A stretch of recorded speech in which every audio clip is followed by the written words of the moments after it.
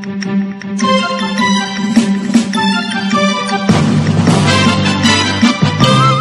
ង្គមស៊ីវិលស្នើរដ្ឋាភិបាលគោរពសិទ្ធិមនុស្សតាមការសន្យារបស់លោកហ៊ុនសែនលោកកឹមសុខាបន្តជួបតំណាងទូតប្រទេសប្រជាធិបតេយ្យក្រមសន្តិសុខបង្ករបួសស្នាមដល់ក្រមស្ត្រីថ្ងៃសុក្រពេលដាក់ញត្តិនៅស្ថានទូតអូស្ត្រាលី លោកហ៊ុនសែនថាជំងឺ Covid-19 ឆ្លងច្រើននៅក្នុងពិធីបុណ្យកាន់បិណ្ឌរយៈពេល2ថ្ងៃមកនេះរួមនឹងព័ត៌មានផ្សេងៗមួយចំនួនទៀត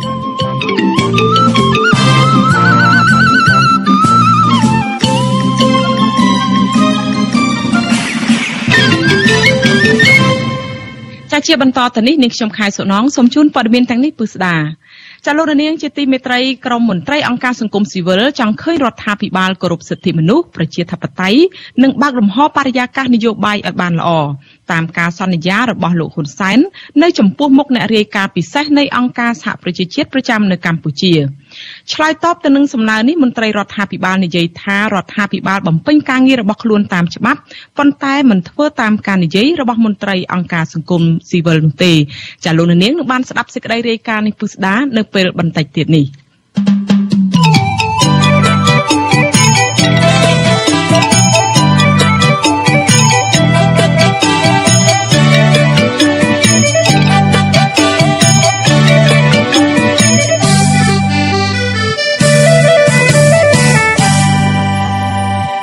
លោកនាងកញ្ញាប្រិមនៈស្ដាប់ជាទីមេត្រីនៅថ្ងៃទី24ខែកញ្ញាស្អែកនេះគឺជាខួប28ឆ្នាំនៃការប្រកាសឲ្យប្រើរដ្ឋធម្មនុញ្ញកម្ពុជា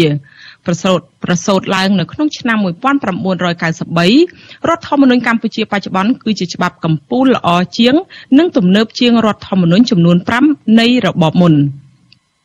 ល្អជាងរដ្ឋធម្មនុញ្ញមុនមុនគឺដោយសារតែរដ្ឋធម្មនុញ្ញមួយនេះមានមូលដ្ឋានគ្រឹះចេញមកពីកិច្ចព្រមព្រៀងសន្តិភាពទីក្រុងប៉ារីសឆ្នាំ1991ដែលជាសន្ធិសញ្ញាអមតៈទោះបីជាត្រូវធ្វើវិសោធនកម្មជាច្រើនលើក៏ដោយក៏រដ្ឋធម្មនុញ្ញមួយនេះនៅរក្សាខ្លឹមសារដើមសំខាន់សំខាន់ដូចជាកំណត់ប្រព័ន្ធគ្រប់គ្រងរដ្ឋត្រូវតែជាប្រព័ន្ធប្រជាធិបតេយ្យសេរីពហុបករបបសភាធានាសិទ្ធិមនុស្សគ្រប់គ្រងដោយរដ្ឋដោយនីតិរដ្ឋជាដើម។ ទោះជាយ៉ាងណាកម្ពុជាក្រោមសម័យតេជោជាច្រើនអាណត្តិកន្លងមកនេះការគោរពប្រតិបត្តិតាមរដ្ឋធម្មនុញ្ញមានដែរតែការបំពារបំពានច្បាប់មានច្រើនជាងតើរដ្ឋធម្មនុញ្ញរងការបំពារបំពានបែបណាចាសសូមលោកនាងរងចាំស្ដាប់សេចក្តីរាយការណ៍នេះពឹស្ដានៅព្រឹកស្អែក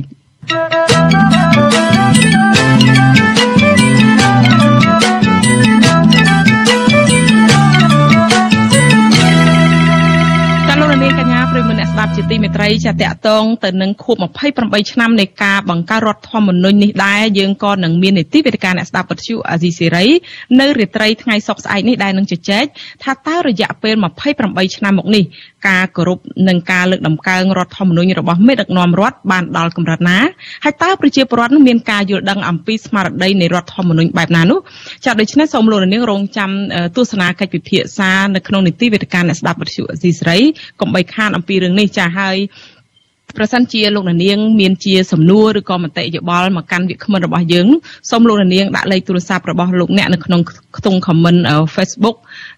ឬក៏ YouTube ដែលកំពុងផ្សាយផ្ទាល់នេះឬក៏នៅក្នុងប្រអប់សារ Facebook Messenger របស់វិទ្យុអេស៊ីសេរីហើយក្រុមការងាររបស់យើងនឹងហៅត្រឡប់ទៅលោកនាងវិញចាសសូមអរគុណអេស៊ីសេរី ចាលោកនាងកញ្ញាប្រិមមអ្នកស្ដាប់ជាទីមេត្រីងាកមកសេចក្តីរាយការណ៍តាក់ទងទៅនឹងស្ថានភាពរបស់ប្រធានគណៈបកសង្គ្រោះជាតិឯនេះវិញលោកកឹមសុខាជាប្រធានគណៈបកសង្គ្រោះជាតិបានបន្តជួបជាមួយតំណាងទូតប្រទេសប្រជាធិបតេយ្យទោះបីជារបបលោកហ៊ុនសែនមិនទាន់ផ្ដល់សិទ្ធិនយោបាយដល់រូបលោកក៏ដោយលោកកឹមសុខាបង្ហោះសារនៅលើបណ្ដាញសង្គម Facebook នៅថ្ងៃទី23ខែកញ្ញានេះថាលោកបានជួបជាមួយឯកអគ្គរដ្ឋទូតអាល្លឺម៉ង់លោក Christian Berger នៅឯកេហដ្ឋានរបស់លោកនៅឯខណ្ឌទួលគោករាជធានីភ្នំពេញលោកបញ្ជាក់ថាជំនុំនេះគឺជាការសម្ដែងការគួសមជាមួយមន្ត្រីជាន់ខ្ពស់ពីររូបនៃស្ថានទូតអាល្លឺម៉ង់ដែលទើបមកកាន់តំណែងថ្មីនៅកម្ពុជាលោកកឹមសុខាឲ្យដឹងទៀតថានៅក្នុងជំនុំនោះលោកបានពិភាក្សាគ្នាអំពីស្ថានទូតពីស្ថានភាពទូទៅនៅកម្ពុជារួមទាំងបញ្ហាជំងឺ Covid-19 និងបញ្ហាទឹកជំនន់ជាដើម។ របបលោកហ៊ុនសែនបានចោទប្រកាន់លោកកឹមសុខាពីបទក្បត់ជាតិប៉ុន្តែជាង4ឆ្នាំមកនេះអាជ្ញាធរមិនបានបង្ហាញភ័ស្តុតាងរឹងមាំណាមួយដែលបង្ហាញពីទោសកំហុសរបស់លោកនោះឡើយផ្ទុយទៅវិញសំណុំរឿងនេះត្រូវបានផ្អាប់ទុកនៅ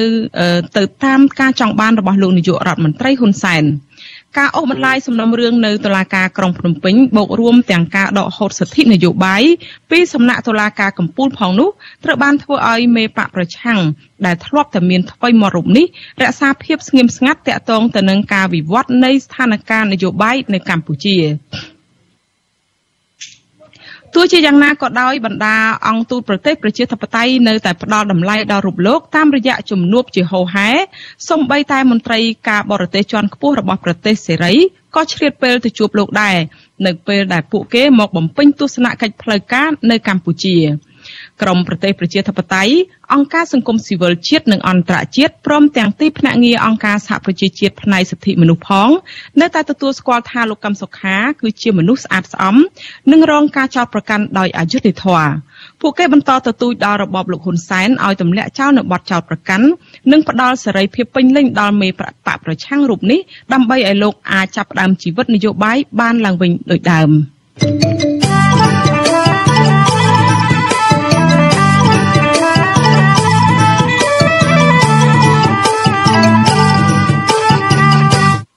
ចាលោករនាងកញ្ញាប្រិមមអ្នកស្ដាប់ជាទីមេត្រីចាសក្តីរាយការណ៍តាក់ទងទៅនឹងការតវ៉ារបស់ក្រមស្ត្រីថ្ងៃសុកវិញម្ដងក្រមស្ត្រីថ្ងៃសុកដែលជាគ្រួសារមន្ត្រីគណៈបកប្រឆាំងដែលកំពុងជាប់ឃុំនាំគ្នាទៅដាក់ញត្តិនៅស្ថានទូតអូស្ត្រាលីនៅថ្ងៃទី23ខែកញ្ញានេះដើម្បីស្នើសុំឲ្យស្ថានទូតជួយអន្តរាគមន៍ទៅរដ្ឋាភិបាលកម្ពុជាឲ្យដោះលែងគ្រួសាររបស់ពួកគាត់វិញតំណាងក្រមស្ត្រីថ្ងៃសុកលោកស្រីព្រំចន្ទថាឲ្យដឹងថាស្ថានទូតអូស្ត្រាលីបានអនុញ្ញាតឲ្យពួកលោកស្រី3នាក់ចូលទៅដាក់ញត្តិនិងសាកសួរព័ត៌មានបន្ថែមនៅក្នុងស្ថានទូតលោកស្រីថាស្ថានមន្ត្រីស្ថានទូតអូស្ត្រាលីចាប់អារម្មណ៍ខ្លាំងនឹងករណីកូនប្រុសរបស់លោកស្រីគឺកុមារាកសវណ្ណឆៃដែលត្រូវបានអាជ្ញាធរចាប់ដាក់ពន្ធនាគារទាំងមិនទាន់គ្រប់អាយុនិងមានជំងឺសតិបញ្ញាលោកស្រីបន្ថែមថាមន្ត្រីស្ថានទូតបានសន្យាថានឹងជម្រាបជូននៅខ្លឹមសារញត្តិរបស់ពួកលោកស្រីទៅកាន់រដ្ឋាភិបាលអូស្ត្រាលី។ ការប្រមូលផ្ដុំគ្នារបស់ក្រមស្ត្រីដែលមានគ្នាជាង10នាក់នៅខាងមុខស្ថានទូតអូស្ត្រាលីនេះក៏មានការរំខាននិងបំបីពីក្រមអាជ្ញាធរនិងកងសន្តិសុខសាលារាជធានីភ្នំពេញដោយសពដងដែរ។ កងសន្តិសុខបានឆក់យករូបបដារូបថតពីក្រមស្ត្រីបណ្ដាលឲ្យពួកលោកស្រីក្រមស្ត្រីតវ៉ារងរបួសចាក្រមស្ត្រីអ្នកតវ៉ាបានថ្កោលទោសទង្វើរបស់ក្រមអាជ្ញាធរនិងកងកម្លាំងសន្តិសុខសាលារាជធានីភ្នំពេញថាជារឿងដ៏អាក្រក់ព្រមទាំងជាការរំលោភច្បាប់ និងសិទ្ធិរបស់ពួកគាត់ទាំងកំរោលចាលោកនាងជាទីមេត្រីចាតកតងទៅនឹងរឿងអំពើហិង្សានេះចាយើងមានអឺ តំណាងខាងស្ត្រីថ្ងៃសុកមួយរូបដែលមានប្តីនិងកូនកំពុងជាប់ឃុំនៅក្នុងពន្ធនាគារនោះគឺលោកស្រីព្រំចន្ទថាដែលលោកស្រីចូលមកជាមួយយើងផ្ដល់សម្ភារបន្ថែមអំពីរឿងនេះតាមប្រព័ន្ធវីដេអូ Skype ចា៎នេះខ្ញុំសូមជំរាបសួរលោកស្រីព្រំចន្ទថាចា៎ចា ស្រីគុំសន្តាតកតងទៅនឹងស្ថានភាពនេះដោយដែលខ្ញុំបានរាយការណ៍ជូនលោកនាងមុននេះបន្តិចអំពីការទៅជួបប្រជុំគ្នា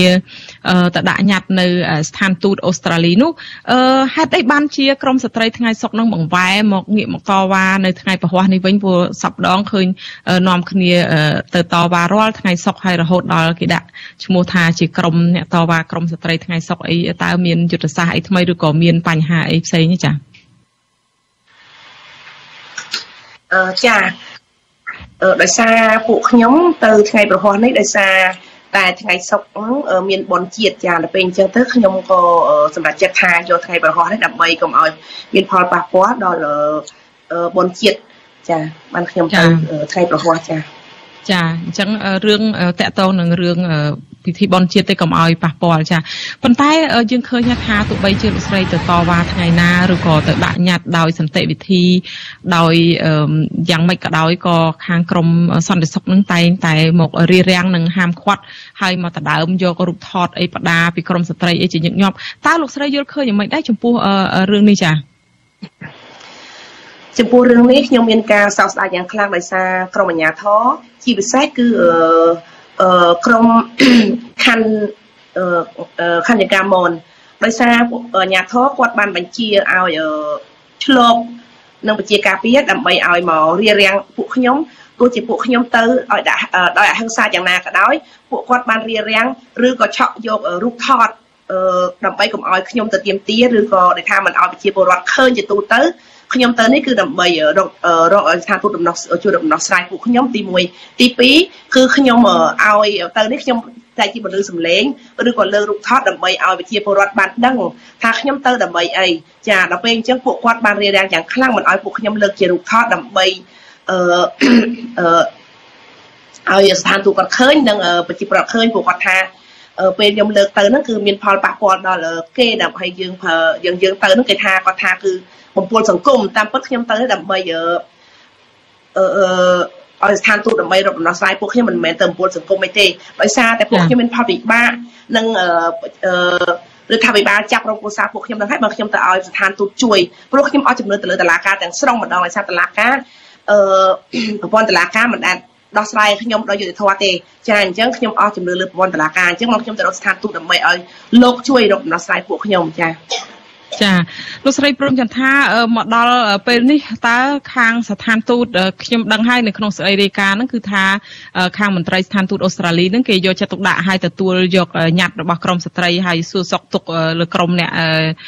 ជាប់ពន្ធនាគារអីទៀតផងហើយក៏សួរច្រើនពីករណីកូនប្រុសរបស់លោកស្រីតើលោកស្រីសង្ឃឹមថាគេនឹងជួយអន្តរាគមឬក៏ផ្ដល់យុត្តិធម៌ឬក៏អាចថាក្រមគ្រួសាររបស់អ្នកជាប់ឃុំមន្ត្រីគណៈបកប្រឆាំងទាំងអស់ហ្នឹងអាចបានមានសេរីភាពនៅក្រៅឃុំវិញទេចា៎ខ្ញុំគិតថា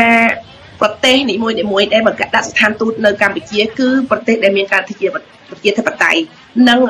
សិទ្ធិមនុស្សគ្រប់សិទ្ធិមនុស្សចាខ្ញុំសង្ឃឹមថាស្ថានទូតនឹងគាត់អាចជួយដំណោះស្រាយបានព្រោះគាត់អឺ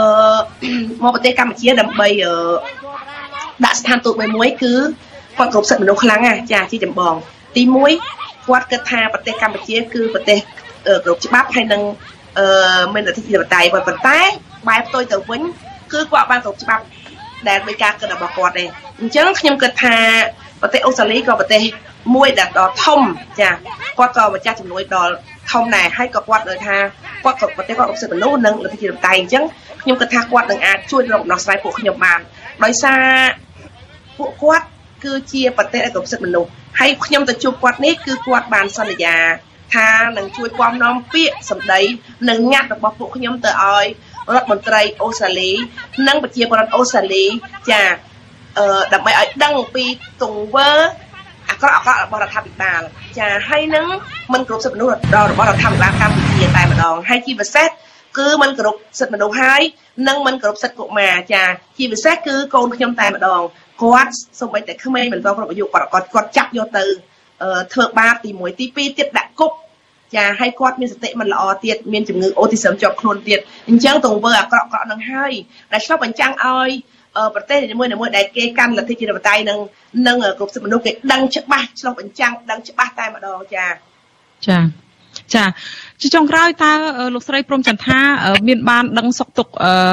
ប្តីហើយនឹងកូនដែលកំពុងនៅក្នុងពន្ធនាគារទេតើពួកគាត់នឹងមានបានទូរស័ព្ទមក ឲ្យតំណែងឲ្យព្រោះថារយៈពេលចុងក្រោយនេះឃើញក្រមគ្រួសារមន្ត្រីគណៈបព្វឆាំងឬក៏ដោយករណីលោករងឈុននេះក៏អាចទូរស័ព្ទមកប្រាប់អ្នកផ្ទះអំពីសុខទុក្ខរបស់គាត់នៅក្នុងពន្ធនាគារដែរតើលោកស្រីដែលមានកូនផងប្តីផងជាប់ពន្ធនាគារនឹងមានបានដឹងសុខទុក្ខគាត់អីយ៉ាងណាដែរចា៎បើចំពោះគ្រួសារខ្ញុំវិញគាត់បានទេតតងមកខ្ញុំក្នុងមួយសប្តាហ៍បានម្ដងចាគាត់នៅក្នុងនោះនិយាយរួមទៅបាត់បង់សេរីភាពទី1 គាត់មានជំងឺប្រចាំកាយទី2ទី3គឺអនាម័យផ្ទាល់ខ្លួននឹងការហូបចុកអត់មានគ្រប់គ្រាន់ទេបើមិនបើមិនក្រុមគ្រួសារយកទៅឲ្យគឺខ្វះថ្នាំសង្កូវទី1ឥឡូវគ្រូពេទ្យខាងផ្នែកអង្គការលីកាដូគាត់បានបានទៅបានដោយសារបញ្ហាកូវីដគេមិនឲ្យចូលចាគេមិនឲ្យចូលជប់នឹងនឹងអ្នកនយោបាយទាំងអស់គ្នាទេអញ្ចឹងអាការកង្វះខាតការឈឺនឹងគឺខ្លាំងបំផុតតែម្ដងទាំងខាងស្រីទាំងខាងប្រុសបើចំពោះកូនខ្ញុំវិញគឺខ្ញុំមិនដែលបានជួបសុំបីតែម្ដង និយាយរួមទៅឥឡូវហ្នឹងគាត់ពិបាកយ៉ាងខ្លាំងដោយសារគាត់មានការលំអពេញខ្លួនដោយសារខ្ញុំដឹងតាមតែមេធាវីទី1ទី2ទីកូនខ្ញុំមិនដែលបានទេមកខ្ញុំសោះឡើយនិយាយដល់ខ្ញុំមានការបារម្ភគាត់យ៉ាងខ្លាំងឥឡូវនេះគាត់ đang សាវនាថ្ងៃទី20សាវនាកាលទី29នឹងទៀតខ្ញុំសង្ឃឹមថាតុលាការបើសិនតុលាការឯករាជ្យឬក៏សង្កត់ពិតមែនតុលាការនឹងអាចដោះលែងកូនខ្ញុំឲ្យនៅក្រៅឃុំឬក៏ទម្លាក់រកការចោទទាំងអស់ព្រោះកូនខ្ញុំគឺជាកុមារនៅក្មេងអនុមោទនាការឯករាជ្យសុខិតហើយរដ្ឋាភិបាលក៏ដោយខ្ញុំសូមឲ្យលោក ឬក៏សម្ដេចហ៊ុនសែនសូមលោកគិតពិចារណាឡើងវិញព្រោះខែបុណ្យខែទៀនខ្ញុំគិតថាក្រុមគ្រួសារពួកខ្ញុំក៏មានក៏មានភាពចង់បានភាពកក់ក្ដៅនិងសុភមង្គលដូចក្រុមគ្រួសារលោកដែរលោកឆ្លាញ់ក្រុមគ្រួសារលោកអញ្ចឹង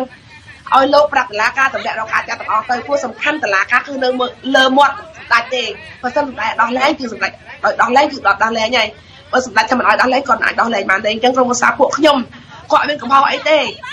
នឹងជាអ្នកនយោបាយដទៃទៀតគឺគាត់មិនដែលបានក្បត់ជាតិដូចដែលលោកពាក្យដោយលោកពោលពាក្យថាទេមិនដែលទេអញ្ចឹងលោកគួរដោះលែងពួកគាត់មកវិញឲ្យមានសិទ្ធិសេរីភាពជួបជុំប្រពន្ធកូននិងក្រុមគ្រួសាររបស់ពួកខ្ញុំមកវិញមកព្រោះពួកខ្ញុំមួយថ្ងៃនេះពិបាកខ្លាំងមែនតើហ្មងលោកគួរគិតថាតើប្រជាពលរដ្ឋដែលរស់នៅក្រៅវត្តលោកវត្តបណ្ណាអញ្ចឹងលោកគួរពិចារណាឡើងវិញទៅឲ្យគាត់មករស់រស់ហើយនឹងជួបជុំប្រពន្ធកូនហើយនឹងមានសិទ្ធិធ្វើនយោបាយឡើងវិញដូចគេដូចឯងចាចា អរគុណច្រើនអ្នកស្រីព្រំចន្ទថាខ្ញុំស្ដាប់សម្លេងអ្នកស្រីទៅដូចអ្នកស្រីមានគ្រុនផ្ដាសាយអញ្ចឹងហ៎ចារៀងកងួចាចាមិនទៅសុខទុក្ខឥឡូវនេះចាខ្ញុំយកកូនខ្ញុំទៅចាក់ថ្នាំម្សិលមិញខ្ញុំត្រូវទៅភ្លៀងហើយអាការឈឺចាប់ក្នុងខ្លួនវាមានព្រឹកមិញនេះខ្ញុំបានរងការធ្វើបាបយ៉ាងខ្លាំងទាញបតបអូនឹងរូបថតដោយក្រុមអាជ្ញាធរច្រើនជាច្រើនអ្នកដែលខ្ញុំខិតស្ត្រីតែ4 10នាក់អាជ្ញាធរឡើង 50 60នាក់100នាក់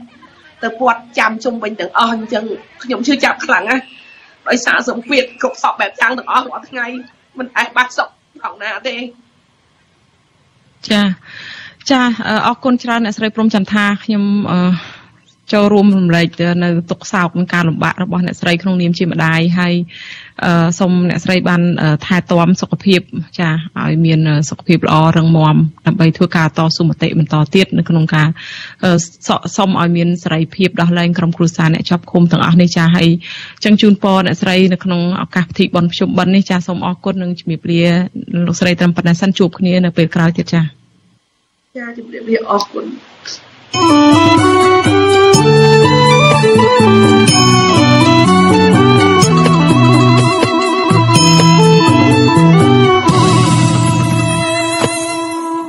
ចាលោកនាងកញ្ញាប្រិយមិត្តអ្នកស្ដាប់ជាទីមេត្រីនៅក្នុងថ្ងៃបុណ្យកាន់បិណ្ឌប្រពៃណីខ្មែរនេះនៅតាមទីវត្តអារាមទូទាំងប្រទេសភាគច្រើនគឺមានសភាពស្ងប់ស្ងាត់ខុសពីឆ្នាំមុនមុននៅក្នុងរដូវកាន់បិណ្ឌរយៈពេល15ថ្ងៃនេះគឺនៅតាមទីវត្តអារាមខ្លះមិនមានពុទ្ធបរិស័ទធ្វើបុណ្យគ្រប់វេននោះទេដោយសារតែពួកគាត់ព្រួយបារម្ភអំពីការឆ្លងរាលដាលជំងឺ Covid-19 និងបញ្ហាខ្វះខាតជីវភាពនៅក្នុងក្រុមគ្រួសារចាលោកនាងនឹងបានស្ដាប់សេចក្តីរាយការណ៍នេះពុស្ដានៅពេលបន្តិចទៀតនេះ។ Thank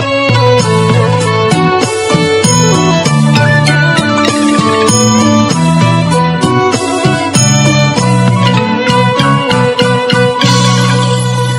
ចាលោករនាងកញ្ញាប្រិមមអ្នកស្ដាប់ជាទីមេត្រីងាកមកស្ថានភាពនៃការរីករាលដាលនៃជំងឺ Covid-19 វិញម្ដងអ្នកជំងឺ Covid-19 ចំនួន22អ្នកទៀតបានស្លាប់ដែលធ្វើឲ្យករណីស្លាប់នេះបានកើនឡើងដល់ជិត2200អ្នកហើយចំពោះករណីឆ្លងថ្មីវិញមានជាង600អ្នកនៅក្នុងថ្ងៃដដែលនេះក្នុងនោះជាង100អ្នកជាករណីនាំចូលពីក្រៅប្រទេសគិតត្រឹមព្រឹកថ្ងៃទី23ខែកញ្ញាកម្ពុជាមានអ្នកកើតជំងឺ Covid-19 ជាង100,000អ្នកក្នុងនោះអ្នកជាសះស្បើយមានជិត100,000នាក់ក្រសួងសុខាភិបាលប្រកាសថាគិតត្រឹមថ្ងៃទី22ខែកញ្ញាម្សិលមិញរដ្ឋាភិបាលចាក់វ៉ាក់សាំងជូនពលរដ្ឋបានជាង9លាន8សែននាក់ក្នុងចំណោមអ្នកដែលត្រូវចាក់សរុបចំនួន10លាននាក់ចំណែកកុមារនិងយុវជនដែលមានអាយុចន្លោះពី6ឆ្នាំទៅ17ឆ្នាំវិញក្រសួងបានប្រកាសថាចាក់វ៉ាក់សាំងបានជាង2លាន8សែននាក់ក្នុងចំណោមអ្នកដែលត្រូវចាក់សរុបជិត4លាននាក់ ទោះបីជាកម្ពុជាចាក់វ៉ាក់សាំងជូនប្រជាពលរដ្ឋបានច្រើនយ៉ាងណាក៏ដោយចំនួនអ្នកឆ្លងជំងឺ Covid-19 ហាក់ស្ថិតនៅកម្រិតខ្ពស់នៅឡើយតួលេខអ្នកឆ្លងថ្មីដែលក្រសួងសុខាភិបាលបានប្រកាសជារៀងរាល់ថ្ងៃគឺមានជាង600នាក់ហើយអ្នកស្លាប់មានចន្លោះពី10នាក់ទៅ20នាក់ក្នុងមួយថ្ងៃជាមួយគ្នានេះការបិទគប់ ភូមិស្រុកដើម្បីបង្ការការឆ្លងរាលដាលជំងឺ Covid-19 នៅតែកើតមានជាហូរហែទាំងនៅរាជធានីភ្នំពេញនៅនៅទៅនិងនៅតាមបណ្ដាខេត្តនានា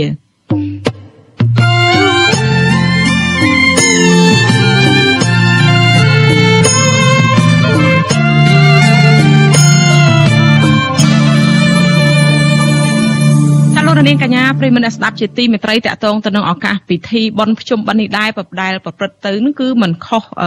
ពីឆ្នាំកន្លងទៅប្រហែលដែរគឺស្ថិតនៅក្នុងបរិយាកាសរដ្ឋបិទខ្លាំងដោយការតែដោយសារតែការភ័យខ្លាចការឆ្លងរាលដាលនៃជំងឺ Covid-19 ចាពួកគាត់ម្នាក់ម្នាក់ពេលជួបជុំគ្នានឹងមិនបានបង្ហាញនៅភាពស្និទ្ធស្នាលទេនិងមិនបានបង្ហាញមុខទេគឺ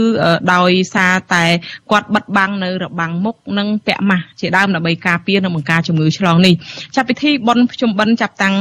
បានចាប់ផ្ដើមពីថ្ងៃទី1រោចដល់ថ្ងៃទី15រោចខែផុតរបត់ដែលត្រូវនៅថ្ងៃទី22ដល់ថ្ងៃទី6ខែតុលាជាគម្រប់ខួប15ថ្ងៃនៃពិធីបុណ្យនេះ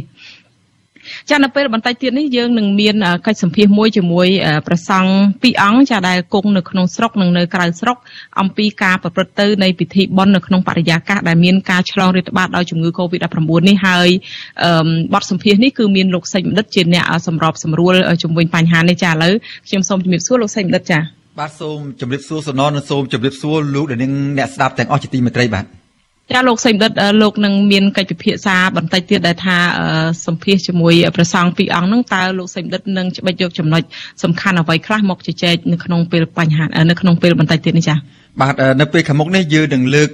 យកនៅនឹងផ្ដោតទៅលើបញ្ហាមួយចំនួនពាក់ព័ន្ធនឹងការប្រពៃពិធីបុណ្យភ្ជុំបិណ្ឌនៅក្នុងបរិយាកាសដែលកំពុងតែមានការរាតត្បាតនៃជំងឺ Covid-19 នេះចង់ដឹងថាតើការប្រពៃពិធីបែបនេះមានការកែប្រែខុសពីទម្រង់ដើមយ៉ាងដូចម្តេចខ្លះហើយថាតើដើម្បី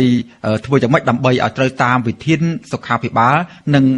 មិនឲ្យខុសពីបំរាមរបស់អាជ្ញាធរហាមឃាត់ផងបាទហើយមួយទៀតនោះយើងចង់ផ្ដោតដែរតើតើក្នុងបរិបទបែបនេះពីព្រោះថាការធ្វើបុណ្យនេះពឹងទៅលើធនធានពឹងលើប្រកាសនិងប្រាក់ចំណូលផងដែរប៉ុន្តែក្នុងកលតិស័កបែបនេះប្រជាពលរដ្ឋមួយចំនួនក្រុមគ្រួសាររបស់ពួកគាត់សមាជិកដែលជាប្រភពចំណូលនោះបានបាត់បង់ប្រាក់ចំណូលខ្លះប្រហែលជា2ឆ្នាំមកហើយតើពួកគាត់មានលទ្ធភាពក្នុងការទៅធ្វើបុណ្យទាននឹងបានពេញលេញពេញមុខពេញមាត់យ៉ាងដូចម្តេចដែរឬមួយក៏ជួបនឹងបញ្ហាខ្វះខាតយ៉ាងដូចម្តេចទាំងក្រហោះនិងប្រសងនោះទៀតបាទបាទសូមលោកនាងរងចាំស្ដាប់បទសម្ភាសន៍ជុំវិញបញ្ហានេះនៅពេលបន្តិចនេះបាទ ចាអរគុណច្រើនលោកសីមនិតហើយយើងនឹងរងចាំទស្សនាកិច្ចពិភាក្សានេះនៅពេលបន្តិចទៀតចាសូមអរគុណចាបាទជម្រាបលាប៉ុណ្ណឹងសិនបាទ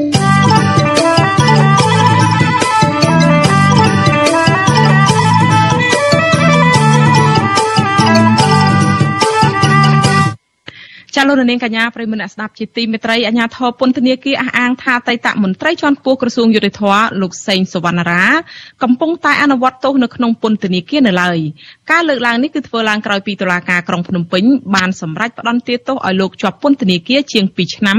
ពាក់ព័ន្ធទៅនឹងករណីរំលោភយកដីព្រៃអភិរក្សទំហំជាង1000ហិកតានៅក្នុងខេត្តមណ្ឌលគិរីចាសសូមអញ្ជើញលោកនាងស្ដាប់សេចក្តីរាយការណ៍របស់លោកមានរិទ្ធអំពីរឿងនេះ។ មន្ត្រីជាន់ខ្ពស់ពន្ធនាគារឲ្យដឹងថាអតីតមន្ត្រីជាន់ខ្ពស់ក្រសួងយុតិធធលោកសេងសវណ្ណារាកំពុងជាប់ឃុំក្នុងពន្ធនាគារព្រៃសរនៅរាជធានីភ្នំពេញអគ្គនាយករងនឹងជាអ្នកនាំពាក្យអគ្គនាយកដ្ឋានពន្ធនាគារលោកនុតសាវណ្ណាឲ្យដឹងនៅថ្ងៃទី23ខែកញ្ញាថា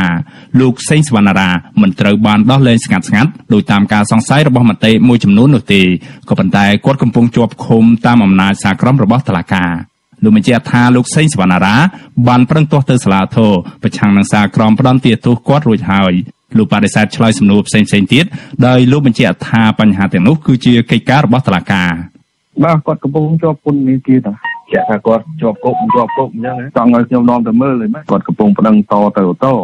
ទៅតែទទួលពាក្យបណ្ដឹងទាស់របស់គាត់ពីសាលាដំបងសារក្រមសាលាដំបងទៅ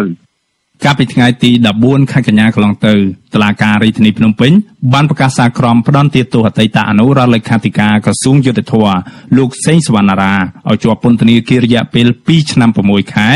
ដោយចោទប្រកាន់4បទល្មើសផ្សេងៗគ្នានៅក្នុងនោះរួមមានបទរំលោភទ្រព្យសម្បត្តិសាធារណៈរបស់រដ្ឋបទកាន់កាប់អាវុធដោយគ្មានលិខិតអនុញ្ញាតបទសម្លុតកុំឲ្យមានការប្តឹងផ្តល់និងបទឆបោកមានស្ថានទម្ងន់ទោស វិសុយស៊ីស្រីមិនទាន់អាចតាក់ទងแนะនាំពាក្យសាលាដំបូងរាជធានីភ្នំពេញលោកតាំងសុនឡាយដើម្បីសុំការបកស្រាយបំភ្លឺជុំវិញរឿងនេះបាននៅឡើយទេនៅថ្ងៃទី23ខែកញ្ញាដោយទូរស័ព្ទហៅចូលច្រើនដងតែគ្មានអ្នកទទួល ក៏ប៉ុន្តែអ្នកនាំពាក្យសាលាដំបូងរាជធានីភ្នំពេញលោកសុវិជារ៉ាឌីបានប្រាប់សារព័ត៌មានក្នុងស្រុកថាក្រៅពីលោកសេងសវណ្ណារាក៏មានមនុស្ស3នាក់ផ្សេងទៀតជាប់ពាក់ព័ន្ធនឹងបទសំគំនិតបទប៉ះពាល់ដល់កម្មសិទ្ធិនៃទ្រព្យសម្បត្តិសាធារណៈរបស់រដ្ឋនិងបទគំរាមមិនឲ្យប្តឹងបរិហាដែលបានប្រព្រឹត្តឡើងកាលពីឆ្នាំ2018ដល់ឆ្នាំ2020នៅក្នុងស្រុកកោះញែកខេត្តមណ្ឌលគិរី តើតងករណីនេះមន្ត្រីអង្គការសង្គមស៊ីវិលមើលឃើញថាសេចក្តីសម្រេចរបស់តុលាការក្រុងភ្នំពេញបែបនេះនៅមានកម្រិតស្រាលនៅឡើយបើធៀបទៅនឹងទំហំនៃបទល្មើសឧក្រិដ្ឋព្រៃឈើដែលអតីតមន្ត្រីជាន់ខ្ពស់ក្រសួងយុតិធម៌រូបនេះបានប្រព្រឹត្តមន្ត្រីពង្រឹងសិទ្ធិអំណាចសហគមន៍មូលដ្ឋាននៃសមាគមការពារសិទ្ធិមនុស្សអាត6លោកប៉ែនបូណា សង្កេតឃើញថាសំណុំរឿងនេះ ពាក់ព័ន្ធនឹងអំពើពុករលួយជាចង្កោមរវាងលោកសេងសវណ្ណារា និងអាជ្ញាធរខេត្តមណ្ឌលគិរីដែលបានខົບខិតគ្នាធ្វើពាក្យស្នើសុំកាន់កាប់ដីព្រៃអភិរក្សទំហំជាង1000ហិកតា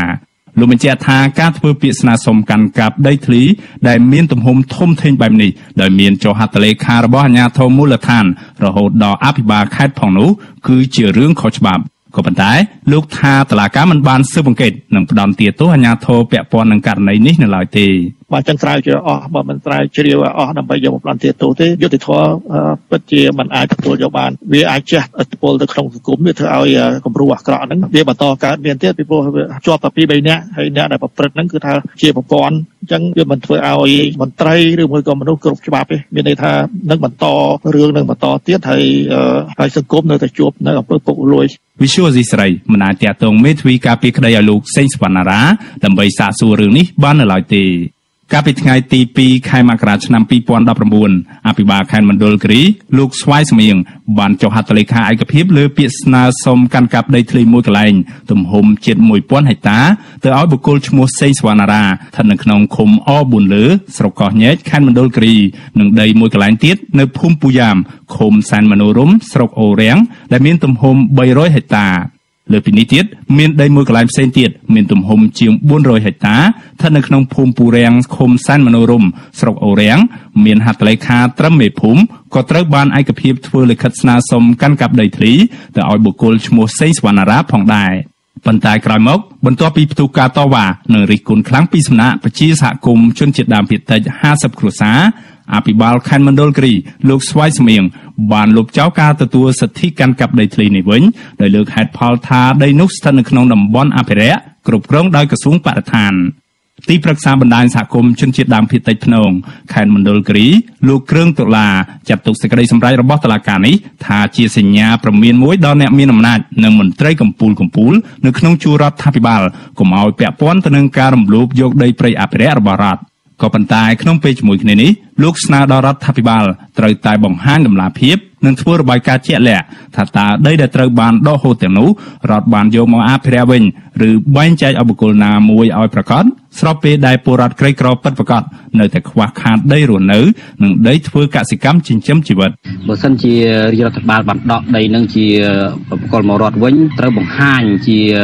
គេថាតម្លាភាពជារបាយការណ៍មួយដ៏ជាក់លាក់ តើគូបែងចែកទៅខាងណាទៅប្រជាពលរដ្ឋឬទៅវិនិយោគត្រូវបង្ហាញជាក់លាក់មួយឬទៅអង្គការណាមួយអញ្ចឹងណាអញ្ចឹងមូលហេតុអីបានជាយើងឃើញកន្លងមកគឺដកដកដកដកប៉ុន្តែមិនដឹងថាដីនឹងដាក់នៅទីណាຕົកនៅណាអញ្ចឹងណាអញ្ចឹងយើងពិបាកក្នុងការទទួលយកដែរកាលពីចុងខែសីហាឆ្នាំ2019លោកនាយករដ្ឋមន្ត្រីហ៊ុនសែនបានបញ្ជាឲ្យដកតំណែងអនុរដ្ឋលេខាធិការក្រសួងយុទ្ធភ័ពលោកសេងសវណ្ណារាក្រោយពីរកឃើញថាមន្ត្រីជាន់ខ្ពស់ក្រសួងយុទ្ធភ័ពរូបនេះ ជាប់ពាក់ព័ន្ធទៅនឹងអំពើរំលោភយកដីព្រៃអភិរក្សទំហំជាង1000ហិកតាស្ថិតនៅក្នុងខណ្ឌមណ្ឌលគិរីក្រោយមកតឡាការរាជធានីភ្នំពេញបានសម្រេចឃុំខ្លួនលោកសេងសវណ្ណារានិងបកពួក3នាក់ផ្សេងទៀតនៅក្នុងពន្ធនាគារព្រៃសរកាលពីចុងខែមិថុនាឆ្នាំ2020មកទល់ពេលនេះអតីតមន្ត្រីជាន់ខ្ពស់ក្រសួងយុទ្ធភ័ពរូបនេះបានជាប់ឃុំអស់រយៈពេលជាង1ឆ្នាំមកហើយខ្ញុំបានមេរិត Visual C ស្រីរាយការណ៍ពីរដ្ឋធានី Washington ចាំលោកនាងកញ្ញាប្រិមនៈស្ដាប់និងអ្នកទស្សនាការផ្សាយរបស់វិទ្យុអាស៊ីសេរីទាំងអស់ជាទីមេត្រីចាក្រៅពីការតាមដានកម្មវិធីផ្សាយរបស់វិទ្យុអាស៊ីសេរីតាមបណ្ដាញសង្គម Facebook YouTube Telegram ចាលោកនាងក៏អាចតាមដានកម្មវិធីផ្សាយរបស់យើងតាមរយៈបណ្ដាញសង្គម Instagram របស់វិទ្យុអាស៊ីសេរីតាមរយៈតំណភ្ជាប់ instagram.com/ RFA ខ្មែរចាប់វិទ្យុអេស៊ីស្រីបន្តខិតខំផ្សព្វផ្សាយព័ត៌មានពិតទៅកាន់បងប្អូនតាមរយៈបណ្ដាញសង្គមផ្សេងផ្សេងនិងសម្បូរបែបដើម្បីឲ្យលោកនាងងាយស្រួលតាមដានការផ្សាយរបស់យើងគ្រប់ពេលវេលានិងគ្រប់ទីកន្លែងតាមរយៈទូរស័ព្ទដៃរបស់លោកនាងចាសសូមអរគុណ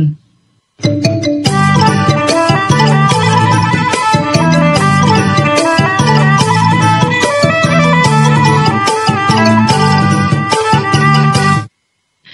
ចាលោកនាងកញ្ញាប្រិមនៈស្ដាប់ជាទីមេត្រីក្រុមអង្គការសង្គមស៊ីវិលចង់ឃើញរដ្ឋាភិបាលគោរពសិទ្ធិមនុស្ស ប្រជាធិបតេយ្យនិងបើកលំហបរិយាកាសនយោបាយឲ្យបានល្អតាមរយៈការសន្យារបស់លោកហ៊ុនសែននៅចំពោះមុខអ្នករាយការណ៍ពិសេសនៃអង្គការសហប្រជាជាតិប្រចាំនៅកម្ពុជា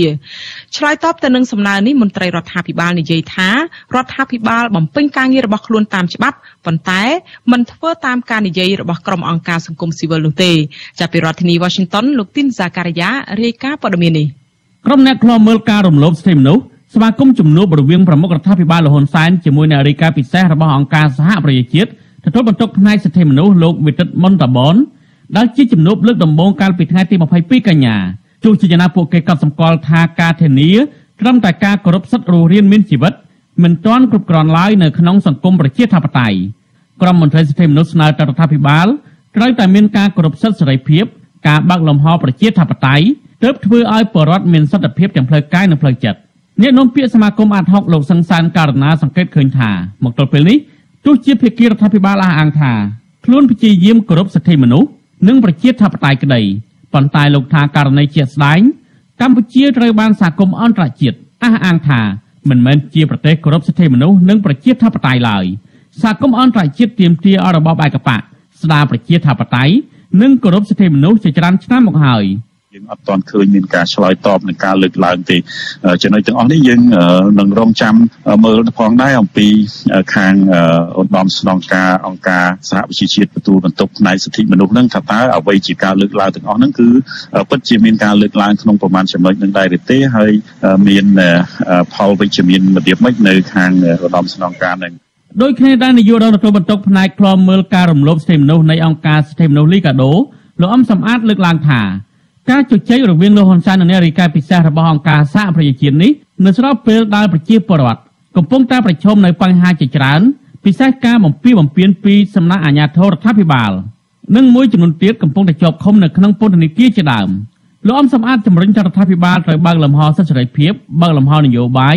ដើម្បីជំរុញឲ្យកម្ពុជាឆ្ពោះទៅកាន់លទ្ធិប្រជាធិបតេយ្យពេញលេញ។ ឃើញថាមានការរិះគន់ជាច្រើនសម្បីតែក្រមប្រឹក្សាសិទ្ធិមនុស្សហ្នឹងក៏បានសម្ដែងការព្រួយបារម្ភអំពី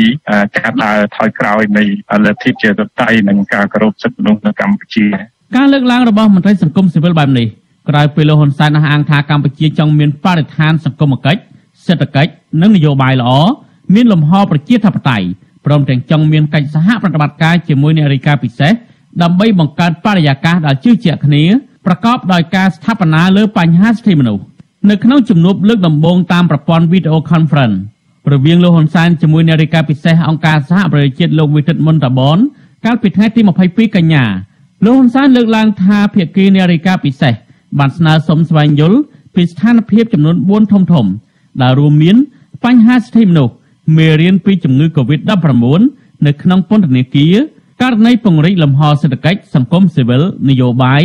និងអ្វីដែលគួរធ្វើដើម្បីគ្រប់គ្រងដល់កម្ពុជាលើវិស័យសិទ្ធិមនុស្សឆ្លើយតបនឹងរឿងនេះលោកហ៊ុនសែនអះអាងថារដ្ឋាភិបាលរបស់លោកធានាសិទ្ធិសេរីភាពរស់រានមានជីវិតរបស់ប្រជាពលរដ្ឋតាមរយៈការចាត់ថ្នាំបង្ការជំងឺ Covid-19 ដល់ប្រជាពលរដ្ឋនិងអ្នកជាប់ឃុំរួមទាំងដោះស្រាយករណីឆ្លងជំងឺ Covid-19 នៅក្នុងពន្ធនាគារលោកថារដ្ឋាភិបាលរបស់លោកត្រូវតែរក្សាឲ្យបានជាដាច់ខាតនៅសុខសន្តិភាពនិងស្ថិរភាពសង្គមទាក់ទងនឹងបញ្ហានេះ វិទ្យុអាស៊ីសេរីមិនអាចសុំការបញ្ជាក់បន្ថែមពីសមាជិកនិងជាអ្នកនាំពាក្យគណៈកម្មាធិការសិទ្ធិមនុស្សរបស់រដ្ឋាភិបាលលោកកតាអនបាននៅឡើយទេនៅថ្ងៃទី23កញ្ញាទោះជាយ៉ាងណាកាលពីខែសីហាសាស្ត្រាចារ្យវិទិតមុនតាបនរួមជាមួយអ្នកជំនាញសិទ្ធិមនុស្សអង្គការសហប្រជាជាតិចំនួន4រូបទៀតបានសម្ដែងកង្វល់ទាក់ទងនឹងការឃុំខ្លួនអ្នកការពារសិទ្ធិមនុស្សនិងសកម្មជនបរិស្ថានបណ្ដោះអាសន្នរួមមានកញ្ញាឈឿនដារាវីលោកហ៊ុនវណ្ណៈបដិជគុណកើតសារាយលោកថាឡាវី កញ្ញាអេងម៉ាឡៃលោកមួងសុភ័ក្រនិងលោកមួងព្រំនីជាដើមដែលពួកគេត្រូវបានឃុំខ្លួនដោយបំពាននិងដកហូតសិទ្ធិសេរីភាពរបស់ពួកគេក្រុមអ្នកជំនាញសិទ្ធិមនុស្សលើកឡើងថាសកម្មភាពរបស់សកម្មជនទាំងនោះជាការងារស្របច្បាប់និងដោយសន្តិវិធីក្នុងការការពារសិទ្ធិមនុស្សនិងសេរីភាពជាមូលដ្ឋានរបស់ប្រជាពលរដ្ឋកម្ពុជាលើសពីនេះទៀតក្រុមអ្នកជំនាញបានសម្ដែងកង្វល់យ៉ាងខ្លាំងចំពោះរបាយការណ៍ដែលថា អាញាធរកម្ពុជាកំពុងតែកំណត់គោលដៅគម្រាមកំហែងនិងដាក់ទោសទណ្ឌដល់អ្នកការពារសិទ្ធិមនុស្សក្នុងគោលបំណងឲ្យមានការភ័យខ្លាចក្នុងចំណោមអ្នកដែលធ្វើការងារដើម្បីការពារសិទ្ធិមនុស្សនិងសេរីភាពជាមូលដ្ឋានជំវិញនឹងករណីនេះអ្នកនាំពាក្យរដ្ឋាភិបាលលោកផៃស៊ីផានអះអាងថាការគោរពសិទ្ធិមនុស្សទាមទារឲ្យមានការចូលរួមអនុវត្តទាំងអស់គ្នាលោកផៃស៊ីផានឆ្លើយតបទៅសំណើរបស់មន្ត្រីសង្គមស៊ីវិលថារដ្ឋាភិបាលបានអនុវត្តការគោរពសិទ្ធិមនុស្សប្រជាធិបតេយ្យ ទៅតាមច្បាប់របស់កម្ពុជា មិនមែនធ្វើតាមការលើកឡើងរបស់មន្ត្រីអង្គការសង្គមស៊ីវិលនោះទេហើយបើសិនជាយើងយកគោលការណ៍ផ្សេងដទៃទៀតនៅលើពិភពលោកនេះយើងយកសិទ្ធិនៃ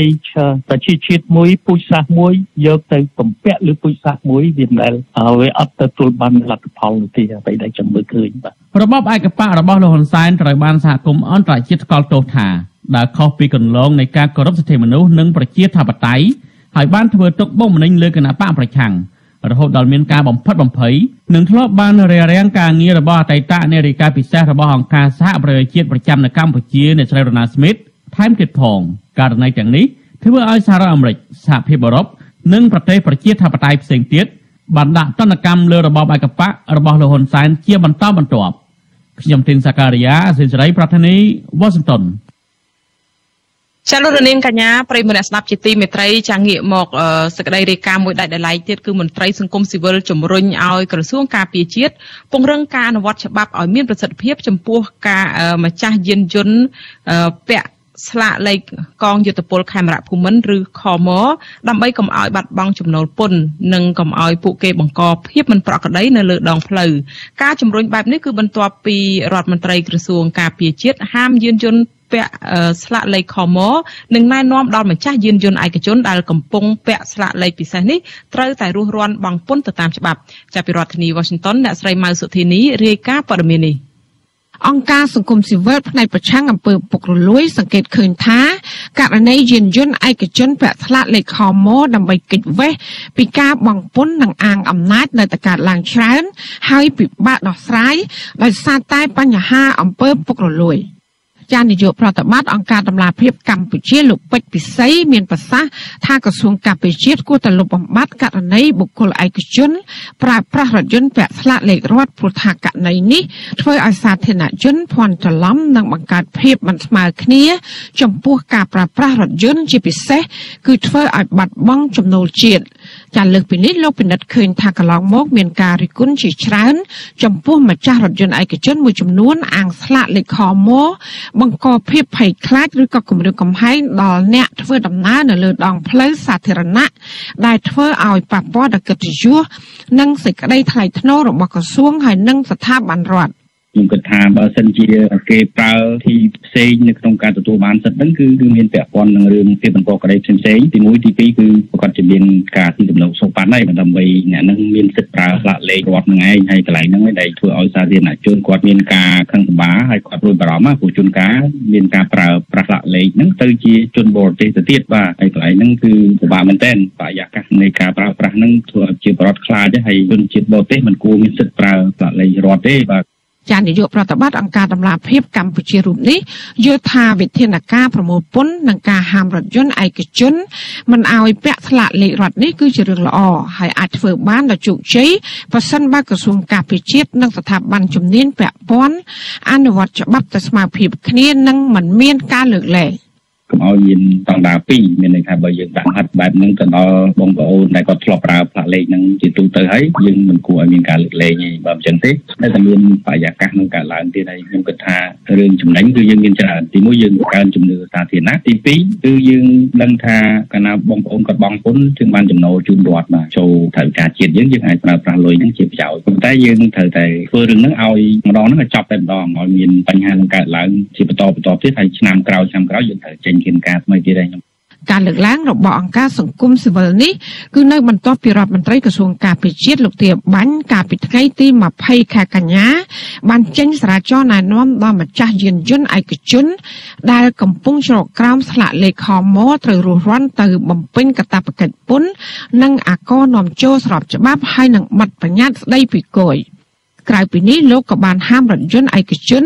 បំពាក់ស្លាកលេខខមនិងតម្រូវឲ្យយានយន្តគ្រប់ប្រភេទដែលពាក់ស្លាកលេខពិសេសនេះត្រូវតែបដូរចង្កូតពីស្ដាំមុខឆ្វេងយ៉ាងយូរត្រឹមដំណាច់ខែមិថុនាឆ្នាំ2022ដើម្បីជៀសវាងការប្រឈមផ្លូវច្បាប់ចាលោកទៀមបាញ់បញ្ជាក់ថាចំពោះយានយន្តឯកជនដែលពាក់ស្លាកលេខខមហើយបានទៅបំពេញកាតព្វកិច្ចពន្ធក្រសួងការពារជាតិនិងរក្សាទុកឲ្យប្រើប្រាស់ជាធម្មតា ប៉ុន្តែក្នុងករណីយានយន្តឯកជនពាក់ស្លាកលេខខមមិនបានទៅបំពេញកាតព្វកិច្ចពន្ធក្រសួងការពារជាតិនិងនារីកស្លាកលេខនោះដោយស្វ័យប្រវត្តិជាបច្ចុប្បន្នស៊ីស្រីមិនទាន់អាចតតងសុំការឆ្លើយតបរឿងនេះបន្ថែមពីរដ្ឋមន្ត្រីក្រសួងការពារជាតិលោកទាបាញ់និងអ្នកនាំពាក្យក្រសួងការពារជាតិលោកឈុំសុជាតិបាននៅឡើយទេនៅថ្ងៃទី23ខែកញ្ញា ជាតកតងករណីនេះដែរនាយកប្រតិបត្តិអង្គការសម្ព័ន្ធកណន័យភាពសង្គមកម្ពុជាលោកសនជ័យលើកឡើងថាការអនុវត្តវិធានការប្រមូលពន្ធផ្សេងផ្សេងពីម្ចាស់រថយន្តឯកជនដែលពាក់ស្លាកលេខខមស្លាកលេខ Nobo និងស្លាកលេខរដ្ឋគឺជារឿងចាំបាច់ព្រោះលោកសង្កេតឃើញថារថយន្តពាក់ស្លាកទាំង3ប្រភេទនេះកើនឡើងយ៉ាងច្រើន លោកបន្តថាចំពោះករណីមានរថយន្តកិច្ចពន្ធចូលដល់ក្នុងប្រទេសកម្ពុជានៅបន្តកើតមាននេះគឺឆ្លោះបញ្ចាំងឲ្យឃើញពីអំពើពុករលួយរបស់មន្ត្រីត្រួតពិនិត្យការនាំចូលរថយន្តនៅតាមច្រកព្រំដែនជាមួយនឹងប្រទេសជិតខាងកុំឲ្យមានមន្ទិលតទៅទៀតខ្ញុំគិតថារថយន្តធនធ្ងន់របស់ក្រសួងការវិជាតិរបស់ប៉ូលីសជាដើមហ្នឹងគួរតែប្រើស្លាកលេខ រត់ទៅហើយលុបបំបត្តិស្លាកលេខខមនិងណបនឹងចោលតែម្ដងទៅកុំឲ្យនៅមុខស្មាញតទៀតណាធ្វើបែបនេះធ្វើឲ្យកម្ពុជាឃើញតែស្លាកលេខពីរប្រភេទទេស្លាកលេខស៊ីវិលហើយនិងស្លាកលេខរដ្ឋធ្វើអញ្ចឹងស្រួលគ្រប់គ្រងហើយនឹងអាចនឹងឈានទៅដល់ការលុបបំបត្តិនៅការដែលមានរថយន្តកិច្ចពន្ធណា បច្ចុប្បន្នការប្រើប្រាស់រថយន្តនិងតូចចក្រយានយន្តអត់ពន្ធដែលមានពាក់ស្លាកលេខខេមរៈភូមិន្ទនិងស្លាកលេខនគរបាលផងនោះគឺមានទាំងជនស៊ីវិលនិងមន្ត្រីរាជការព្រមទាំងជនជាតិចិនខ្លះផង។ ពួកគេកំពុងប្រើប្រាស់យានជំនិះទាំងនោះជាមធ្យោបាយធ្វើដំណើរជាលក្ខណៈគ្រួសារក្នុងនោះម្ចាស់យានយន្តមួយចំនួនមិនសូវគ្រប់ច្បាប់ចរាចរណ៍នោះទេហើយខ្លះទៀតតែងតែគម្រាមកំហែងឬក៏កិច្ចពីការទទួលខុសត្រូវនៅពេលដែលមានគ្រោះថ្នាក់ចរាចរណ៍កើតឡើង។ ចាក់កន្លងមករដ្ឋាភិបាលលោកហ៊ុនសែនក៏ធ្លាប់បានដាក់ចេញវិធានការជាច្រើនលើកដែរដើម្បីបង្ក្រាប និងឲ្យម្ចាស់រថយន្តដែលជ្រកក្រោមស្លាកលេខខមនិងណូបបងពុននិងផ្លាស់ប្ដូរទៅប្រើស្លាកលេខធម្មតាវិញ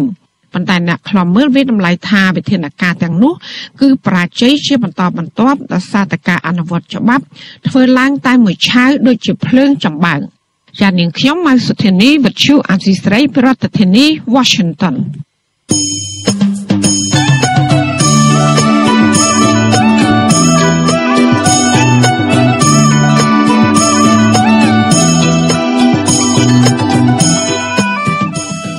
ចាលោកនាងកញ្ញាប្រិយមិត្តអ្នកស្ដាប់ជាទីមេត្រីចាវិទ្យុអាស៊ីសេរីផ្សាយតាមរយៈរលកធាតុអាកាសខ្លីឬ Shortwave តាមកម្រិតនិងកម្ពស់ដូចតទៅនេះ ពេលព្រឹកចាប់ពីម៉ោង5កន្លះដល់ម៉ោង6កន្លះតាមរយៈរលកធាតុអាកាសខ្លី13715 kHz ស្មើនឹងកម្ពស់ 22m និងនៅពេលយប់ពីម៉ោង7កន្លះដល់ម៉ោង8កន្លះតាមរយៈរលកធាតុអាកាសខ្លី9960 kHz ស្មើនឹងកម្ពស់ 30m និង11200 11240 kHz ស្មើនឹងកម្ពស់ 25m ចាសសូមអរគុណ ចាលោកនាងកញ្ញាប្រិយមិត្តអ្នកស្ដាប់ជាទីមេត្រីតកតងទៅនឹងរឿងខាងសហរដ្ឋអាមេរិកឯនេះវិញបានបើកការិយាល័យរបស់ក្រសួងកសិកម្មដំបងនៅក្នុងប្រទេសកម្ពុជានៅក្នុងខែកញ្ញានេះដែលមានទីតាំងស្ថិតនៅក្នុងស្ថានទូតអាមេរិកប្រចាំនៅប្រទេសកម្ពុជាដើម្បីគ្រប់គ្រងវិស័យកសិកម្មនៃប្រទេសទាំងពីរ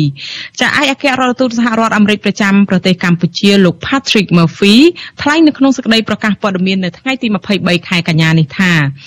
ចានៅក្នុងប្រទេសកម្ពុជាអតិថិជនចូលចិត្តផលិតផល និងបច្ចេក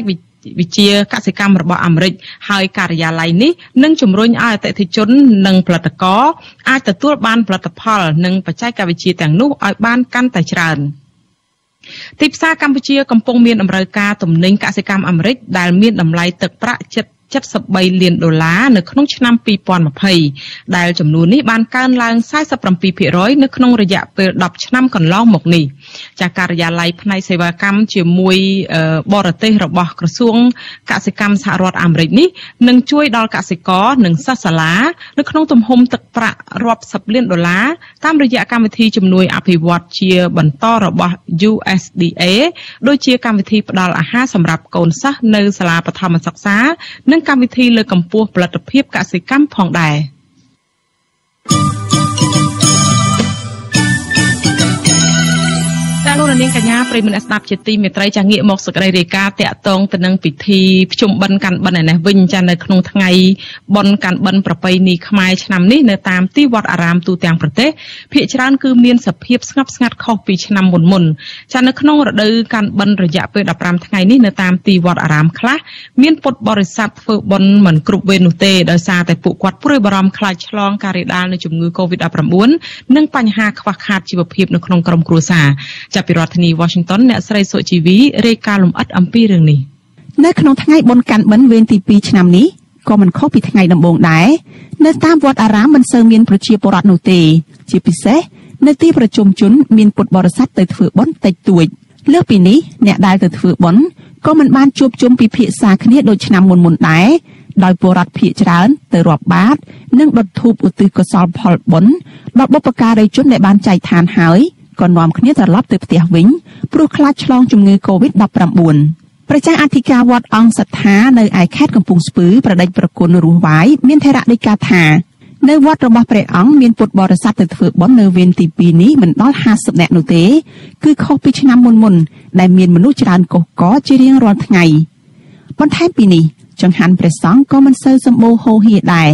ព្រះអង្គបន្តថាពុទ្ធបរិស័ទភាគច្រើន អុជធូបរាប់បាតឧទ្ទិសកុសលផលបុណ្យដល់ជីដូនជីតារួចហើយក៏ត្រឡប់ទៅផ្ទះវិញភ្លាមភ្លាមតែម្ដងខ្លះហ្នឹងក៏បាយរងនឹងចាក់ទៅទៅចាក់វិញទៅហើយដល់ពេលទៅចាក់ឡើងក៏នៅទៅមកកាយហើយយ៉ាងទៅធម្មតាយ៉ាងទៅអឺឆាន់ពេលវិញពេលអីអត់អីទេគ្រូអត់មានអីទេប៉ុន្តែគ្រាន់តែចេះបើថាអត់វិញអត់អីវាមានការខ្វះខាតដែរណានៅក្នុងវត្តហ្នឹងវាអត់មានណាមកហ្នឹងដាំបាយអីខ្លួនឯងចឹងទៅ ចាប់ពីថ្ងៃកាន់បិណ្ឌវេនទី1មកប្រជាពលរដ្ឋភៀសច្រើននៅមិនទាន់បានទៅធ្វើបុណ្យនៅតាមទីវត្តអារាមនៅឡើយទេដោយពួកគាត់ខ្លាចឆ្លងជំងឺ Covid-19 និងមានជីវភាពខ្វះខាតផងប្រជាសហគមន៍ដីធ្លីនៅភូមិលបពីងខេត្តកំពង់ឆ្នាំងលោកស្ងួនញឿនថ្លែងថាប្រជាពលរដ្ឋនៅក្នុងសហគមន៍របស់លោកមិនទាន់បានធ្វើបុណ្យកាន់បិណ្ឌនៅឡើយទេព្រោះឆ្នាំនេះពួកគាត់រកប្រាក់ចំណូលមិនបានដូចឆ្នាំមុនមុនឆ្នាំនេះគឺដោយសារតែយើងមិនមាន ថាការដែលខ្ញុំកណ្ដាថាគណៈកម្មការវត្តគេមកគ្រប់គ្រងគណៈកម្មការភូមិដែលពួកយើងធ្វើបន់រាល់ឆ្នាំហ្នឹងអញ្ចឹងពួកយើងឆ្នាំឆ្នាំនេះដូចមិនមានថាវិការណាសម្រាប់ទៅធ្វើបន់ដូចរាល់ឆ្នាំទេគឺអញ្ចឹងគឺរាល់ឆ្នាំគឺយើងបានរៃអង្គាសប្រជាពលរដ្ឋដែលជាគណៈកម្មការភូមិហ្នឹងយកទៅដាក់បិណ្ឌនៅតាមវត្តផ្សេងផ្សេងនៅតាមទីវត្តអារាមនៅតំបន់ជាប់ព្រំដែនប្រទេសវៀតណាមក៏មិនសូវមានប្រជាពលរដ្ឋទៅធ្វើបុណ្យច្រើនដែរ អាចារ្យវត្តជ័យឧត្តមឃុំទួលស្ដីស្រុកចន្ទ្រាខេត្តស្វាយរៀងលោកខំសេកប្រាប់ថានៅទីវត្តដែលលោកប្រចាំការមានពុទ្ធបរិស័ទប្រមាណ30នាក់នៅក្នុងមួយថ្ងៃយកចង្ហាន់ទៅប្រគេនព្រះសង្ឃលោកបញ្ជាក់ថាគណៈកម្មការវត្តបានដាក់អកុលនៅមុខច្រកចូលសម្រាប់ឲ្យប្រជាពលរដ្ឋលាងដៃណែនាំប្រជាពលរដ្ឋឲ្យរក្សាគម្លាតសុវត្ថិភាព និងចែកម៉ាស់ឲ្យពលរដ្ឋពាក់ការពារកុំឲ្យឆ្លងជំងឺ Covid-19 បាទវាសពឆ្នាំដល់នេះមិនទាន់វាស្គាល់ជំងឺនេះមនុស្សច្រើនទេណាបើព្រឹកមកព្រឹកចាប់ពីបិណ្ឌទី1អញ្ចឹងទៅ50 60 100នាក់បញ្ហាទី1គឺគាត់គឺមានការកង្វះខាតចឹងដែរបងវាបញ្ហាជីវភាពរោងចក្រក៏មិនដំណើរការបានល្អវាទី50%អញ្ចឹងប្រជាពលរដ្ឋនៅក្នុងមូលដ្ឋានភូមិរបស់ខ្ញុំនេះមានការលំបាកទីទួចបញ្ហា ថវិកាចឹងទៅក៏គាត់មានការធ្វើបុណ្យក៏តិចតួចចិត្តដែរមិនបានទៅលំទលេដូចមុនទេជាមួយគ្នានេះនៅឯខេត្តសៀមរាបនិងនៅរាជធានីភ្នំពេញអាជ្ញាធរបានដាក់ពង្រាយកម្លាំងជាច្រើនអ្នកការពារនៅតាមទីវត្តអារាមដើម្បីទប់ស្កាត់មិនឲ្យប្រជាពលរដ្ឋប្រមូលផ្ដុំគ្នាតកតងនឹងបញ្ហានេះប្រធានលេខាធិការដ្ឋានគណៈសង្ឃនយោបាយនិងជាព្រះមេគុណរាជធានីភ្នំពេញប្រដេចព្រះគុណខឹមសនមានថេរដីកាថា មូលហេតុដែលអាជ្ញាធរដាក់ពង្រាយកងកម្លាំងដោយសារតែជាតំបន់បិទខ្ទប់ដើម្បីទប់ស្កាត់ការរាតត្បាតជំងឺ Covid-19 ចំណែកការធ្វើបុណ្យនៅតាមទីវត្តអារាមទូទាំងប្រទេសវិញព្រះអង្គមានថេរដីកាថាចាប់ពីថ្ងៃកាន់បិណ្ឌវេនទី1មក មានសភាពស្ងប់ស្ងាត់ជាងឆ្នាំមុនមុនជាពិសេសក្នុងរាជធានីភ្នំពេញមិនសូវមានពុទ្ធបរិស័ទមកចូលរួមធ្វើបុណ្យនោះទេ ណែនាំហ្នឹងគឺថាធ្វើម៉េចយើងប្រុងប្រយ័ត្នទាំងអស់គ្នាកុំឲ្យជំងឺ Covid ហ្នឹងវារីករាលដាលទៅបន្តទៀតធ្វើម៉េចបបួលគ្នាទប់ស្កាត់ឲ្យបានព្រោះណាក្នុងកលៈទេសៈហ្នឹងបើស្នាជាយើងមិនចង់លំបាកជាងនឹងថែមទៀតទេមានតែយើងរួមគ្នាទប់ស្កាត់ឲ្យបានព្រោះហ្នឹងណាបើយើងមិនអាចទប់ស្កាត់បានទេនោះអ្វីដែលយើងលំបាកត្រាប់ហើយនោះយើងនឹងរឹតតែលំបាកតទៅទៀតព្រោះ នៅក្នុងឱកាសបុណ្យកាន់បិណ្ឌនេះក្រសួងធម្មការនិងសាសនា បានចេញសេចក្តីណែនាំដល់គ្រប់វត្តអារាមត្រូវអនុវត្តឲ្យបានខ្ជាប់ខ្ជួនតាមការណែនាំរបស់ក្រសួងសុខាភិបាល ដូចជាពាក់ម៉ាស់វាស់កម្ដៅរក្សាអនាម័យលាងដៃនឹងសាប៊ូឬអាល់កុលនិងរក្សាគម្លាតសុវត្ថិភាពដើម្បីបង្ការកុំឲ្យឆ្លងជំងឺ Covid-19 លោកនាយករដ្ឋមន្ត្រីហ៊ុនសែនប្រកាសតាមបណ្ដាញសង្គម Facebook របស់លោកនៅថ្ងៃទី23ខែកញ្ញាដោយបង្ហាញក្តីកង្វល់ថាពិធីបុណ្យនេះ អាចនឹងមានការរាតត្បាតជំងឺ Covid-19 ផ្ទុះឡើងខ្លាំងនៅខាងមុខលោកហ៊ុនសែនអះអាងថាពិធីបុណ្យកាន់បិណ្ឌរយៈពេល2ថ្ងៃមកនេះមានវត្តអារាមជាច្រើននៅរាជធានីភ្នំពេញនិងតាមខេត្តមានអ្នកឆ្លងជំងឺ Covid-19 លោកបញ្ជាឲ្យក្រសួងពាក់ព័ន្ធប្រញាប់ដោះស្រាយបញ្ហានេះជាបន្ទាន់ដើម្បីទប់ស្កាត់កុំឲ្យជំងឺរលាកផ្លូវដង្ហើមប្រភេទថ្មីនេះរាលដាលខ្លាំងនៅពេលខាងមុខពិធីកាន់បិណ្ឌនេះក្រៅពីមិនសូវមានប្រជាពលរដ្ឋទៅធ្វើបុណ្យទានហើយ នៅតាមវត្តអារាមខ្លះមិនមានពុទ្ធបរិស័ទធ្វើជាម្ចាស់វេនបុណ្យរាល់ថ្ងៃនោះទេទីប្រឹក្សាព្រះចៅអធិការវត្តភ្នំសំពៅស្រុកបាណន់ខេត្តបាត់ដំបងព្រះដេចប្រគុណអ៊ីវយុសឿនមានថេរដីកាថាវត្តរបស់ព្រះអង្គសោះក៏ក្រោះជាងឆ្នាំមុនមុនពលគឺមិនមានពិធីបោះបាយបិណ្ឌនិងសូត្រធម៌បរាភវសូត្រនៅក្នុងព្រះវិហារឡើយ ជាងនេះទៅទៀតព្រះអង្គឲ្យដឹងថាទីវត្តរបស់ព្រះអង្គមានពុទ្ធបរិស័ទធ្វើជាម្ចាស់វេនកាន់បិណ្ឌនោះមានតែថ្ងៃដំបូងវេនទី2វេនទី14និងវេនបុណ្យចុងក្រោយតែប៉ុណ្ណោះ បន្ទាប់ពីការកាន់វេនបិណ្ឌពីរនេះបិណ្ឌវេនអាត្មានេះទៅវត្តស្ងាត់ញោមណាអត់មានពិធីកាន់វេនកាន់បិណ្ឌអីទេគឺស្ងាត់រហូតអត់មានមីក្រូមេចាក់ទេអញ្ចឹងណានិយាយចំវាអត់មានជួយឧបត្ថម្ភកម្មវិធីព្រោះតែវត្តសັດខ្សោយដល់ពេលសម័យ Covid ទៅប្រឈមនឹងវត្តសັດខ្សោយអញ្ចឹងអត់មានថ្លៃភ្លើងថ្លៃចាក់មីក្រូថ្លៃអីដោយសារបរិស័ទក៏បានចូលរួមមកធ្វើពិធីកាន់វេនអញ្ចឹងលោកអត់អាចរត់រយៈពេលជិតកន្លះខែនឹងបានទេតែធម្មតាទៅរត់ចាក់ការចាក់បារាតែងតែមានភេសជ្ជៈជួយលោកយាយលោកតាឬប្រសង់ជួយសូត្របារាទី1ទី2បច្ចេកភ្លើងម៉ាស៊ីនហ្នឹងគឺដាក់ភ្លើងហ្នឹងចោលពោះព្រឹកពិធីកាន់បិណ្ឌមានរយៈពេល15ថ្ងៃដោយចាប់ផ្ដើមពីថ្ងៃ1រោចខែផុតត្របុត្រហើយថ្ងៃ15រោចគឺជាពិធីបុណ្យភ្ជុំធំទៅតាមទំនៀមទម្លាប់របស់ពលរដ្ឋខ្មែរនិងកាលកំណត់ជាទៀងទាត់ពីបុរាណមកបុណ្យនេះធ្វើឡើងដើម្បីឧទ្ទិសកុសលដល់វិញ្ញាណក្ខន្ធនៃអ្នកមានគុណទាំងឡាយដែលបានលាចាកលោកនេះទៅលោកខាងមុខពិធីបុណ្យកាន់បិណ្ឌឆ្នាំនេះចាប់ផ្ដើមពីថ្ងៃទី22ខែកញ្ញាដល់ថ្ងៃទី10ខែតុលា ដែលជាថ្ងៃប្រជុំធំនេះខ្ញុំសុជីវី With you Azizi Saray ពីរដ្ឋធានី Washington ចាលោកនាងកញ្ញាប្រិមនៈស្ដាប់ជាទីមេត្រីចាលោកនាងកំពុងស្ដាប់នឹងទស្សនាការផ្សាយរបស់វិទ្យុអាស៊ីសេរីផ្សាយចេញពីរដ្ឋធានី Washington នៃសហរដ្ឋអាមេរិកចាតកតងទៅនឹងពិធីបុណ្យភ្ជុំបិណ្ឌឆ្នាំនេះដែរដែលប្រព្រឹត្តទៅនោះគឺមិនខុសពីឆ្នាំកន្លងទៅប៉ុន្មានដែរទេគឺស្ថិតនៅក្នុងបរិយាកាសរដ្ឋបិទដោយភ័យខ្លាចការឆ្លងរាលដាលជំងឺ Covid-19 ពួកគាត់ម្នាក់ម្នាក់ពេលជួបគ្នាគឺមិនបានបង្ហាញនៅភាពស្និទ្ធស្នាលនិងមិនបានបង្ហាញ ពេញលេញនោះទេដោយព្រោះតែគាត់បិទបាំងនៅរបាំងមុខហើយនឹងពាក់ម៉ាស់ការពារឆ្លងជំងឺ Covid-19 ពិធីបុណ្យភ្ជុំបិណ្ឌដែលចាប់ផ្ដើមពីថ្ងៃទី1រោចដល់ថ្ងៃទី15រោចខែផុតត្បុតនឹងត្រូវចំថ្ងៃទី22ខែកញ្ញារហូតដល់ថ្ងៃទី6ខែតុលាគឺជាគម្រប់15ថ្ងៃនៃពិធីបុណ្យនេះចានៅពេលបន្តិចទៀតនេះលោកនាងនឹងបានទស្សនាកិច្ចសម្ភាសមួយចាជាមួយព្រះសង្ឃពីរអង្គដែលគង់នៅក្នុងស្រុកនិងក្រៅស្រុកដែលព្រះអង្គគង់មក នឹងនិមន្តមកជជែកពិភាក្សាអំពីថាការប្រព្រឹត្តទៅនៅពិធីបុណ្យនេះនៅក្នុងបរិយាកាសដែលមានការរាតត្បាតជំងឺ Covid-19 នេះហើយថាតើមានការប្ររពឡើងដោយរបៀបម៉េចទៅទស្សនវិជ្ជានៅឯវត្តនឹងយ៉ាងណាខ្លះនោះហើយលោកសេចក្ដីនឹងសម្របសម្រួលអំពីបញ្ហានេះនៅពេលបន្តិចទៀតចា៎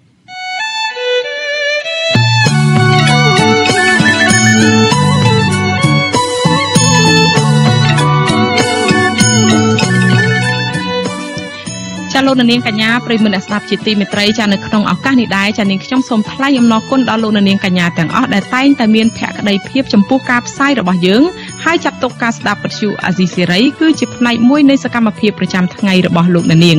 ចាការគ្រប់គ្រងរបស់លោកអ្នកនាងនេះហើយដែលធ្វើឲ្យយើងខ្ញុំមានទឹកចិត្តកាន់តែខ្លាំងថែមទៀតនៅក្នុងការស្វែងរកនិងផ្តល់ព័ត៌មានជូនលោកអ្នកនាងចាមានអ្នកស្ដាប់អ្នកទស្សនាកាន់តែច្រើនកាន់តែធ្វើឲ្យយើងខ្ញុំមានភាពស្វាហាប់មោះមុតជាបន្តទៀត ចាយើងខ្ញុំសូមអរគុណទុកជាមុនហើយសូមអញ្ជើញលោកអ្នកនាងកញ្ញាចូលរួមជំរុញនៅសកម្មភាពផ្តល់ព័ត៌មានរបស់យើងនេះឲ្យកាន់តែជោគជ័យបន្ថែមទៀតដោយលោកអ្នកនាងគ្រាន់តែចុចចែករំលែកឬក៏ share ការផ្សាយរបស់យើងនៅលើបណ្ដាញសង្គម Facebook និង YouTube ទៅកាន់មិត្តភ័ក្តិរបស់លោកអ្នកនាងដើម្បីឲ្យការផ្សាយរបស់យើងបានទៅដល់មនុស្សកាន់តែច្រើនចាសសូមអរគុណ